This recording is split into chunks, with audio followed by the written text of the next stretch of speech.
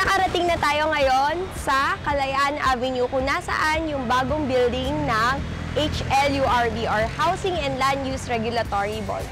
Tara and papakita ko sa inyo kung paano mag-renew ng inyong HLURB registration.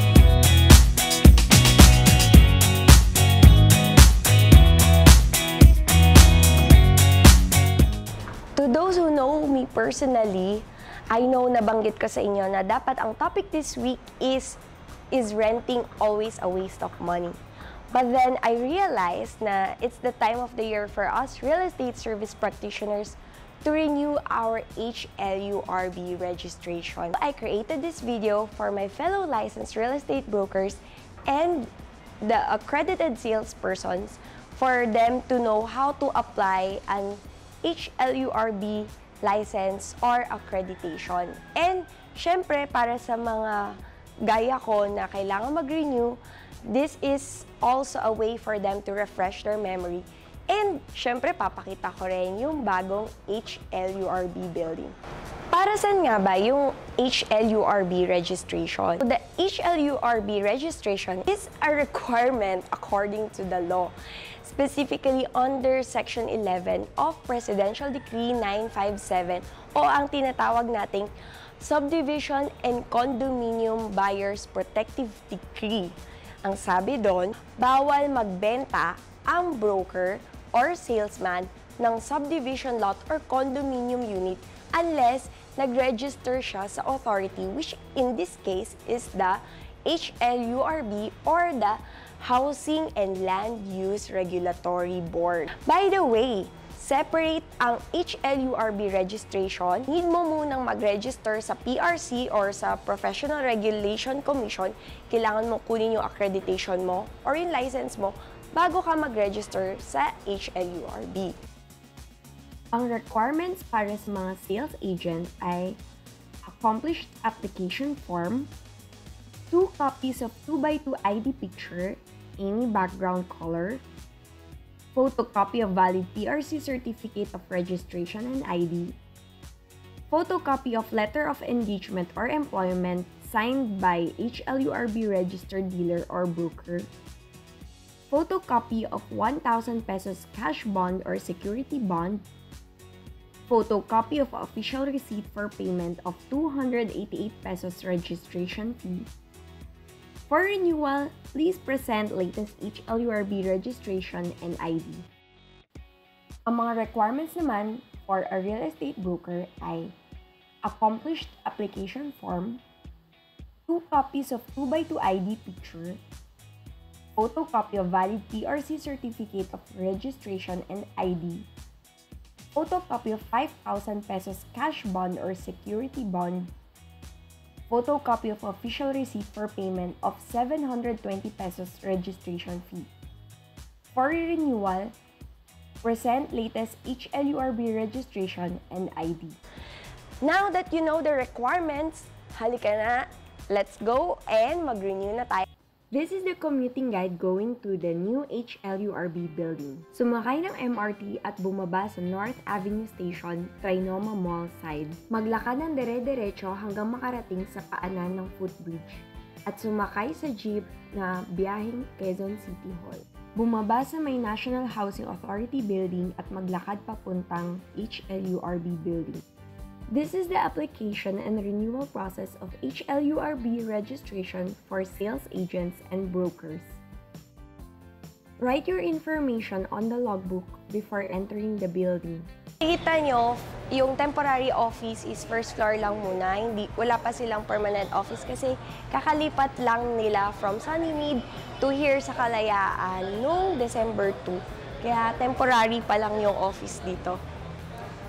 Ay, si Property Hunter. Hello!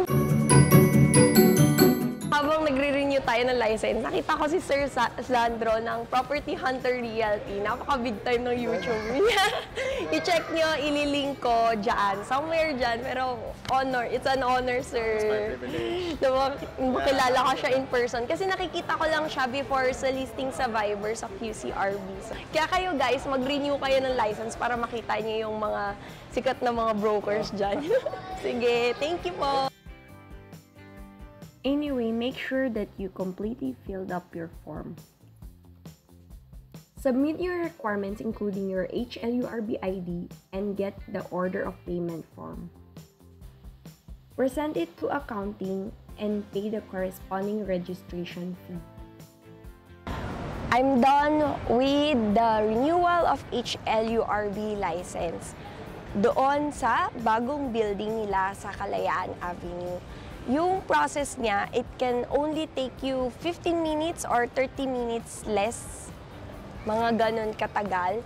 Kapag prepared na lahat ng requirements mo, hindi mo na kailangan mag-surety bond, or like magpa-photocopy, mabilis lang siya. Sobrang bilis. Kung hindi mo alam kung saan ka kukuha ng surety bond, dito sa HLURB office building, merong co-op office dito kung saan pwede ka makakuha ng uh, surety bond. This is how to get security bond.